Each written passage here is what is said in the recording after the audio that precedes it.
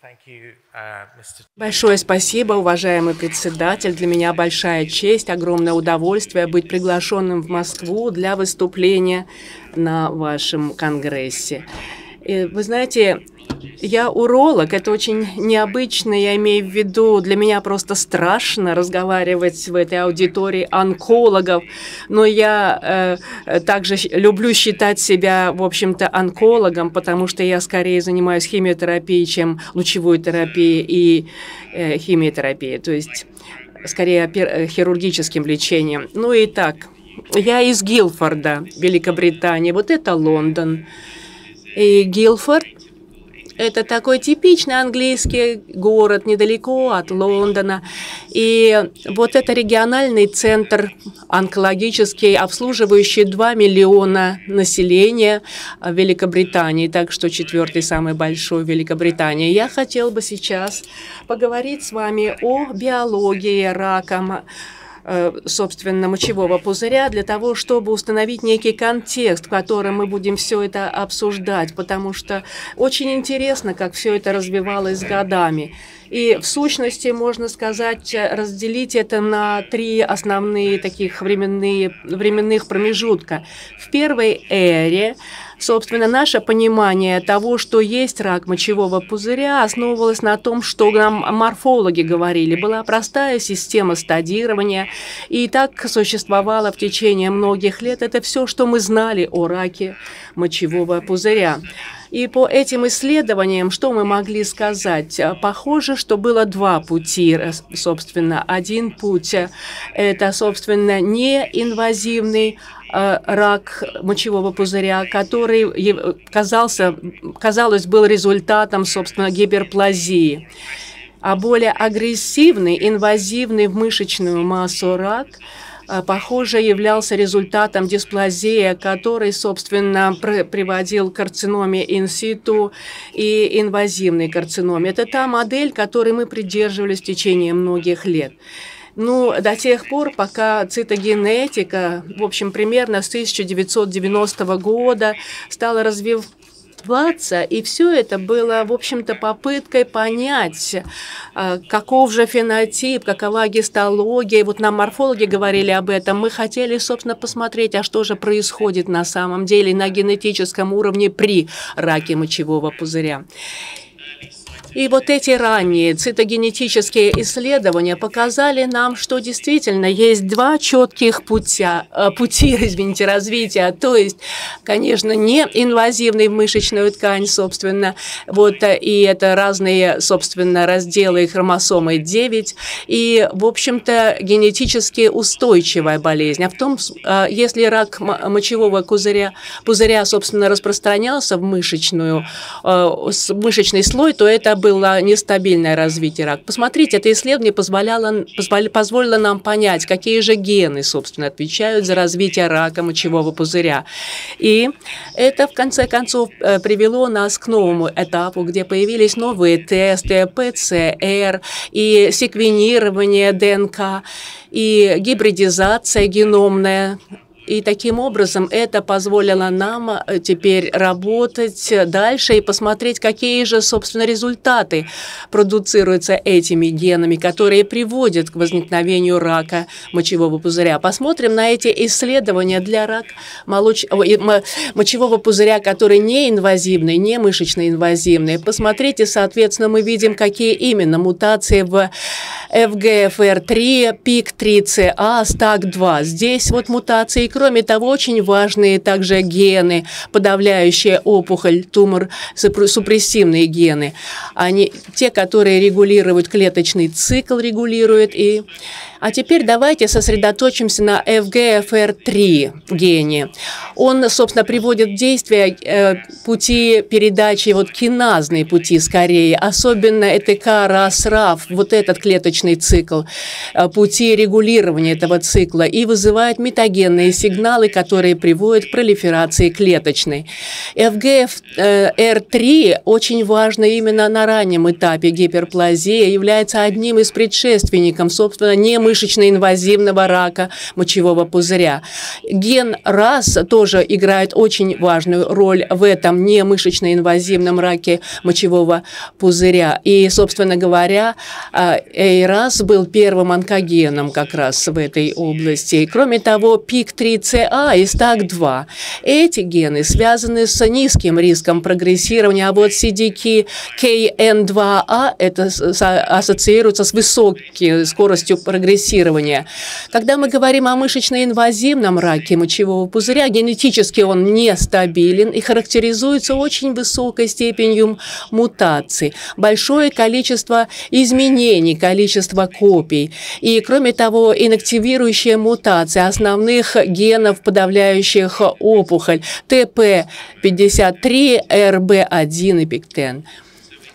Ну а теперь мы переходим к тому, что является современным пониманием того, что является патогенезом развития рака мочевого пузыря. Большая часть основана на, конечно, а, секвенировании нового поколения. Два института, один в Китае, в Пекине, а второй в Северной Америке действительно провели секвенирование для пациентов с раком мочевого пузыря. вероятно, важно будет сказать, что до сих пор они посмотрели только пока пациентов с мышечно-инвазивным раком.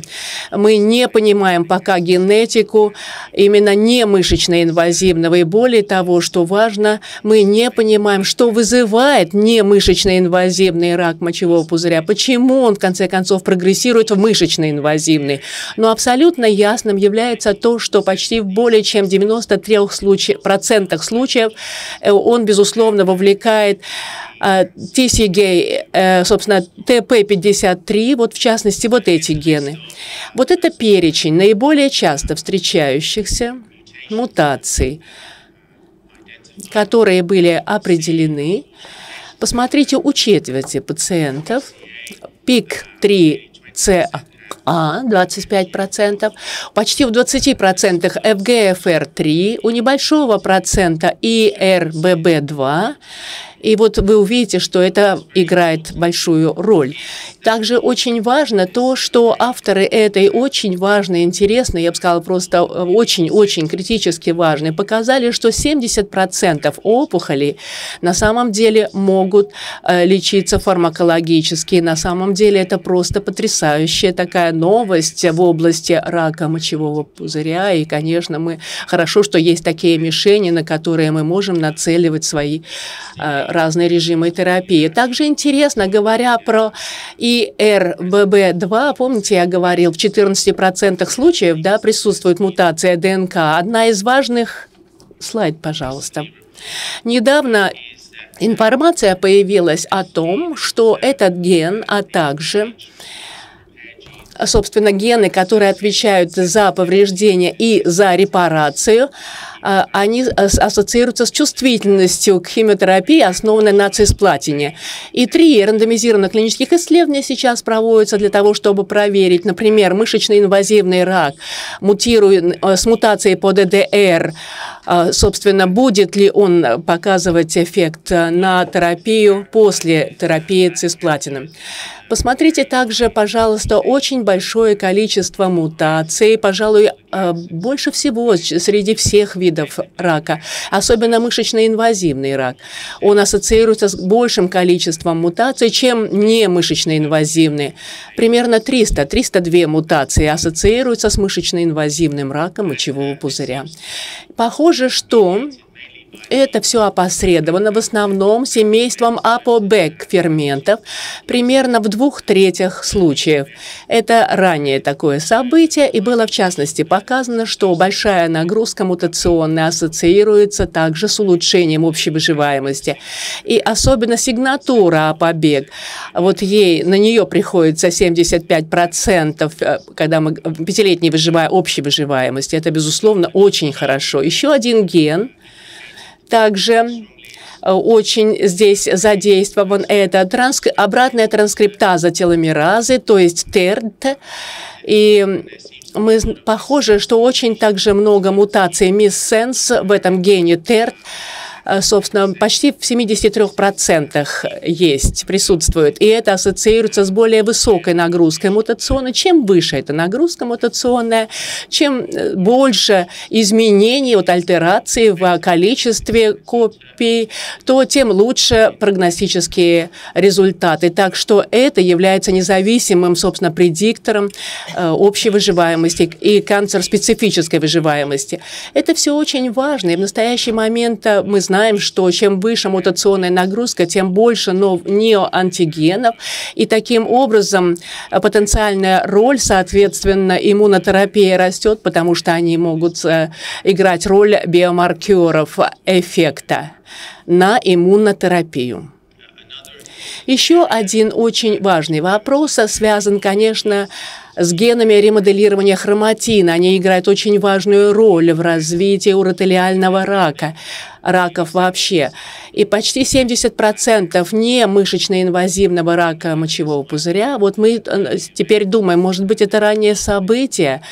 И здесь, конечно, есть модификация гистона, и кроме того, на это ссылаются как, собственно говоря, на тех, кто вызывает, удаляет и прочитывает гистоны. И можно опять-таки здесь увидеть, может быть, терапевтическую мишень, которые пользуются ингибиторами диацетилазы э, гистона.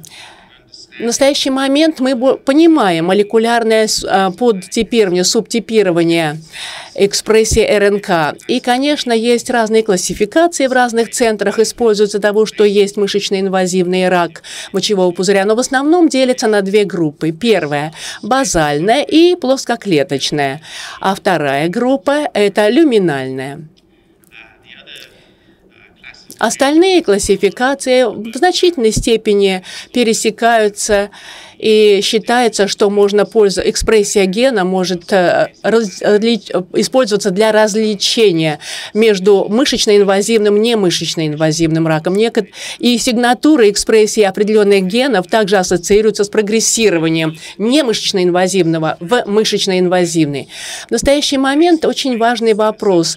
Вот плоскоклеточный а, рак – собственно говоря, его характеристики ассоциируются с э, поздней стадией заболевания, с метастазированием, высокий уровень фильтрации иммунной, экспрессия ПДЛ-1, высокая экспрессия EGFR э, может быть более чувствительной. Таким образом, мы можем подумать о роли ингибиторов EGFR. А когда мы говорим о люминальном подтипе, здесь, пожалуй, больше папиллярных характеристик, лучше общая выживаемость, часто мутации ГФР-3 предполагают, что можно прогрессирование, вероятно, это означает прогрессирование из немышечно-инвазивного рака мочевого пузыря в мышечно-инвазивный.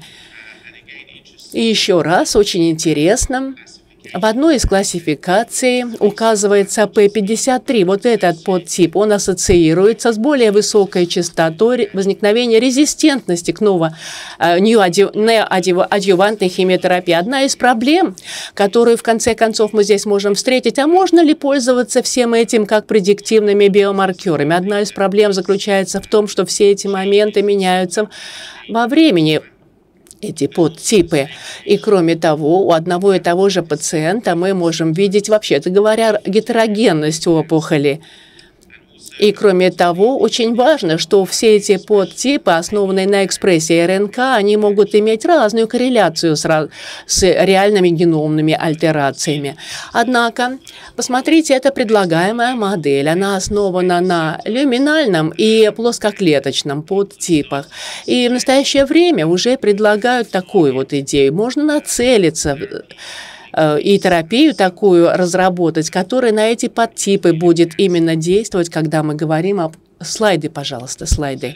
Уротелиальном раке. Но все это приводит меня ко второй части моего выступления, а именно диагностика рака мочевого пузыря. Я буду говорить в основном о мышечно-инвазивном раке и о роли, собственно, молекулярных биомаркеров. Извините, у меня что-то со слайдами происходит какая-то Ну вот проблема с биомаркерами выглядит следующим образом. Все это коммерческие, коммерческие э, биомаркеры NMP22, Eurovision, CS Blada Monitor и так далее. Они работают в разных путях этих путей, э, этих путей передачи э, генного вот этих фенотипов. И все они пытаются а, заметить те изменения, которые, на их взгляд, ассоциируются с возникновением рака. И вы знаете, что очень трудно выделить какую-то одну характеристику, которая постоянно будет помогать устанавливать правильный диагноз рака мочевого мочевого пузыря. Обратите внимание, рекомендации Европейского общества 2017 года показывают, что цитология мочи очень специфична. Но в настоящий момент ни один из этих методов пока не рекомендуется как единственно возможный. Я говорил о метилировании ДНК. Это очень важный такой э, биомаркер рака, эпигенетический. И это то, чем можно пользоваться. Это можно взять, определить по моче. Ранние тесты, по причинам, которые я только что упомянул, не очень точны, потому что тогда мы смотрим лишь очень небольшое количество. А вот э, секвенирование нового поколения позволило, позволило нам посмотреть большие панели, собственно, маркеров. Например, у нас в Великобритании есть так называемый Euromark Assay. Здесь 150 разных участков, можно, собственно, на них настраиваться и смотреть сигнатуры на рак мочевого пузыря. Вот это очень важно, потому что роль маркеров опухоли при раке мочевого пузыря, скорее всего, уже не будет, знаете ли, как часть вот этой гибкой цистоскопии. А вот это, потому что второй этот метод гораздо лучше. Вот эта гибкая цистоскопия, она уже так, этот метод так хорош, что надо придумать что-то такое, что будет не хуже, а скорее лучше. И поэтому, соответственно, мы хотим, чтобы этот тест вот, мочи был бы, имел чувствительность больше, чем 95 для того, чтобы заменить вот этот метод гибкой цистоскопии. Он должен иметь чувствительность выше 95 э, процентов. И таким образом при этом нужно иметь возможность посмотреть, собственно, большое количество э, вот этих параметров. Ну и Вообще говоря, надежда есть на это, но в ближайшие 5-10 лет, может быть, мы в конце концов найдем какие-то биомаркеры, которые в конечном счете позволят нам заменить, может быть, эту гибкую цистоскопию. Ну и это приводит меня, собственно, к концу моего выступления, то есть новые направления в диагностике конкретного мышечно-инвазивного рака мочевого пузыря. И в этой области МРТ, похоже, играет следующим таким новым э, методом, что называется. И проблемы в стадировании рака мочевого пузыря связаны с тем, что мышечно-инвазивный рак э, мы диагностируем TURBT. И мы знаем, что проблемы всегда здесь есть. Недостаточная стадия указывается и так далее. Это может привести к очень большой задержке в начале терапии. Но есть некоторые другие типы опухолей, которые диагностируются без ткани, например, почечно-клеточный рак. И тут как раз можно и радиологический диагноз проводить. Когда мы смотрим на роль МРТ при стадировании рака мочевого пузыря, запомните, что есть разные стадии, собственно, сканирования МРТ. И некоторые из них дают нам возможности получить подробно э, и ламина проприя. И, конечно, это Т2W и все остальные. Некоторые из них дают лучшее представление об анатомии, например.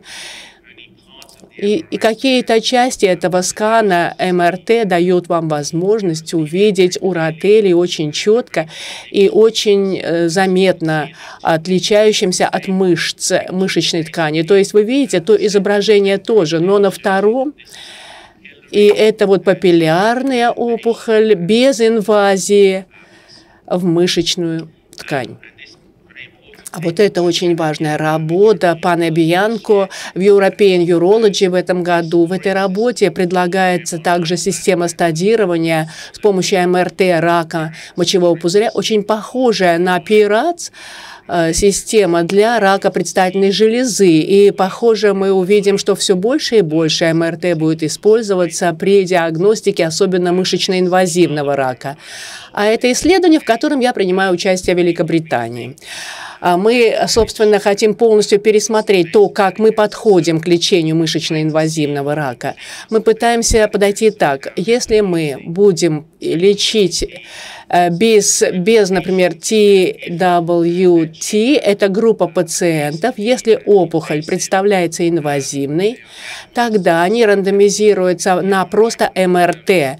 И если МРТ подтверждает, что это, да, мышечно-инвазивный, тогда уже нам не нужно пользоваться дополнительными методами, переходим просто к лечению. Мне кажется, это очень интересное изменение. Это исследование, которое дает нам возможность, мы можем сэкономить время, можем полностью, собственно говоря, из алгоритма диагностики убрать некоторые тесты, которые уже не нужны. ПЭТ-КТ, несколько слов. И вы знаете, что, конечно, ФФДГ выделяется с мочой, и, кроме того, это полезно для оценки, конечно, только метастазов. И на последней неделе, прошлую неделю э, многодисциплинарная встреча по уротериальному раку проводилась. Как вы знаете, конечно, была встреча консенсусная. И действительно, потому что не было такой, в общем-то, значимого раньше участия в стадировании рутинном по поводу мышечно-инвазивного рака. А теперь очень полезно, когда есть результаты, которые показывают, вот с помощью визуализации мы можем получить до начала терапии эти результаты. Один метастаз, например, Э, для того, чтобы исключить все остальные метастазы до хирургии или стереотоксическая, например, радиохирургия может проводиться. То есть все эти вещи, безусловно, будут уже теперь все больше и больше использоваться. Я хотел бы завершить свое выступление, уважаемые коллеги, сказав, что лучшее понимание молекулярной э, морфологии рака мочевого пузыря приведет э, к молекулярному стадированию, и этим мы можем заменить гистологию. И лучше будут модели прогностические, лучше мы будем предсказывать результаты терапии и, соответственно, делать отбор, и молекулярные терапевтические мишени у нас появятся. И особенно вот э, действительно МРТ с динамическим контрастным усилением очень полезно для стадирования. Это все сделает, что ТУР-БТ перестанет использоваться. Спасибо огромное. Спасибо председателям, спасибо аудитории.